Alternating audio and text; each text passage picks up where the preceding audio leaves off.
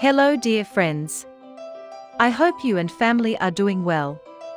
Let me welcome you to the exciting world of animals. Will you remember subscribing, please? The European pied flycatcher is a small passerine bird in the Old World flycatcher family. One of the four species of Western Palearctic black and white flycatchers. It hybridizes to a limited extent with the collared flycatcher. It breeds in most of Europe and across the Western Palearctic. It is migratory, wintering mainly in tropical Africa. It usually builds its nests in holes on oak trees.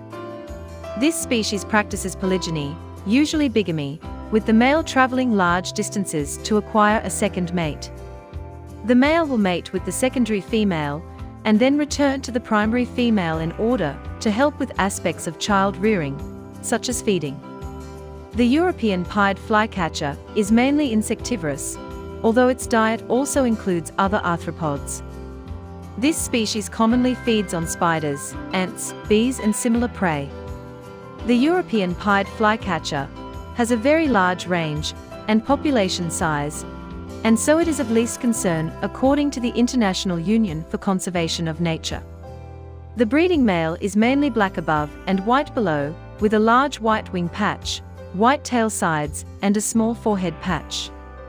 Non-breeding males, females and juveniles have the black replaced by a pale brown, and may be very difficult to distinguish from other Ficedula flycatchers, particularly the collared flycatcher, with which this species hybridizes to a limited extent. The bill is black, and has the broad but pointed shape typical of aerial insectivores. As well as taking insects in flight, this species hunts caterpillars amongst the oak foliage and will take berries. It is therefore a much earlier spring migrant than the more aerial spotted flycatcher, and its loud rhythmic and melodious song is characteristic of oak woods in spring. They are birds of deciduous woodlands, parks and gardens, with a preference for oak trees.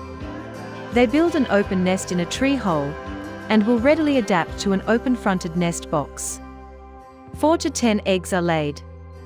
The very similar Atlas pied flycatcher of the mountains of northwest Africa was formerly classed as a subspecies of the European pied flycatcher. The main diet of the European pied flycatcher is insects. In fact, their name comes from their habit of catching flying insects, but they also catch insects or arthropods from tree trunks, branches, or from the ground. That was a cool journey. Thank you for your interest in wildlife. See you pretty soon. Take care and be safe.